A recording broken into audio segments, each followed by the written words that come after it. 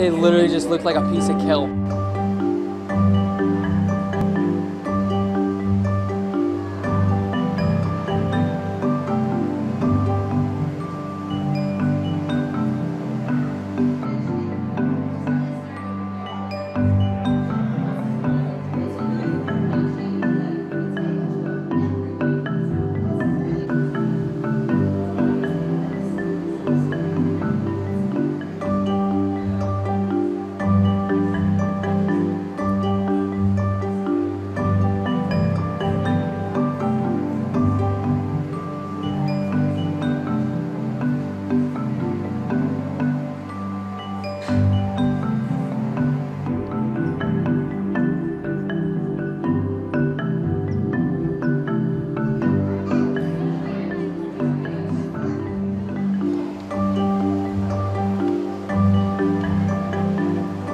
We want to educate people using our exhibit.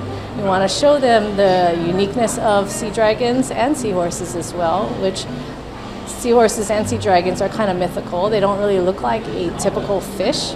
So, you know, it kind of amazes people and kind of makes them curious about what is in our oceans. And that's really what we want to do. It was crazy to me that it was like actually living and swimming around. So that's cool. I've never seen anything like that.